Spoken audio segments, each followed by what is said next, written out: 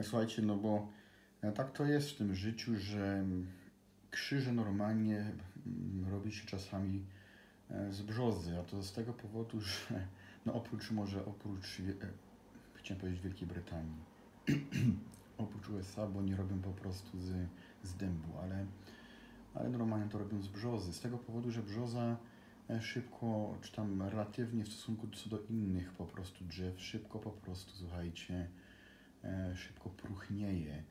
No i to ma, ma po prostu symbolizować, no, że człowiek e, no, przechodzi z jednego stadium do drugiego i, no, i musi jakoś pogodzić się z tym, co było, prawda, i zacząć od nowa. No, To, to, symbolizuje, słuchajcie, brzoza.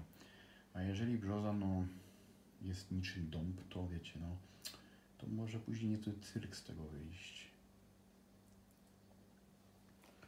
Gdzie to jest?